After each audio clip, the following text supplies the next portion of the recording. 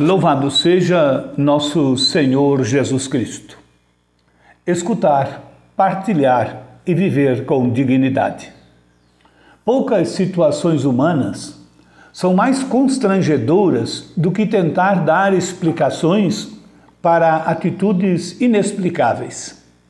No longo relato da primeira leitura que ouvimos na festa da Imaculada Conceição, está o fato de um homem literalmente pego de calças curtas, ou como se diz de outra forma, com a boca na botija.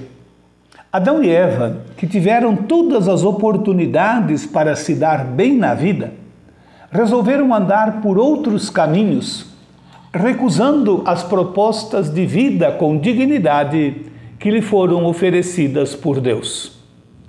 E a pessoa que, ao contrário deles, melhor soube viver e caminhar à sombra da casa de Deus, foi Maria, a mãe de Jesus.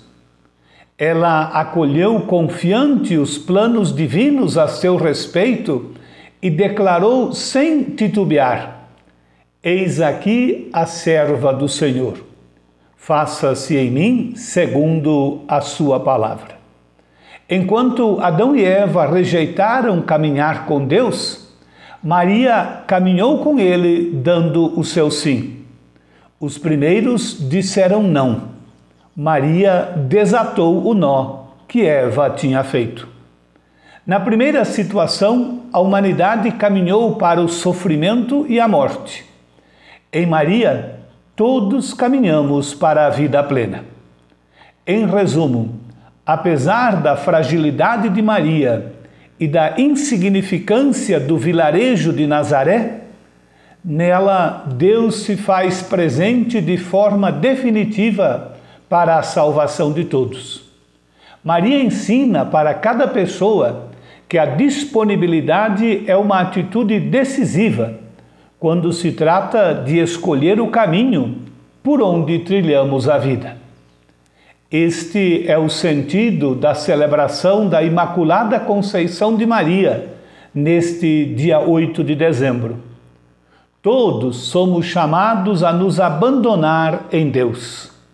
É isto que também rezamos na primeira oração da missa deste dia.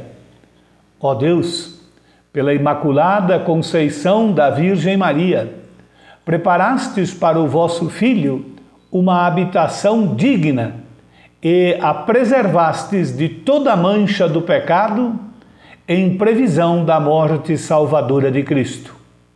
Concedei-nos também a nós chegar até vós purificados de toda a nossa culpa pela materna intercessão de Maria.